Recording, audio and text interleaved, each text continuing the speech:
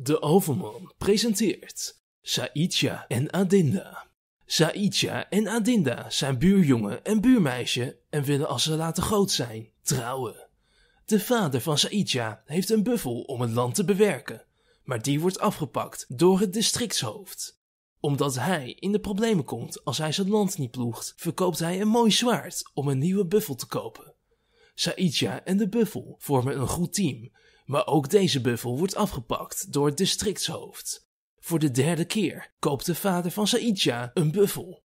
Op een dag redt de buffel Saidja van een pijnlijke dood als hij aangevallen wordt door een tijger. Maar ook deze buffel wordt afgepakt door het districtshoofd. Een paar jaar later zijn beide ouders van Saidja overleden. Zijn vader is in de gevangenis gestorven en de moeder van verdriet. Saidja vertelt aan Adinda dat hij naar Batavia gaat om voor hun bruiloft te sparen en zoveel geld te verdienen dat ze twee buffels kunnen kopen. Bij de 36e volle maan zullen ze elkaar weer zien onder een boom. Na drie jaar hard werken keert Saidja terug.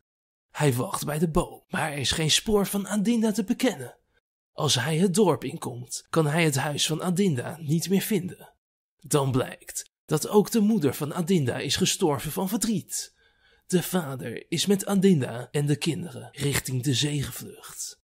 Saidja staat zich aan bij het opstandelingenleger om Adinda te zoeken. Op een dag vindt hij de vader en de broers van Adinda.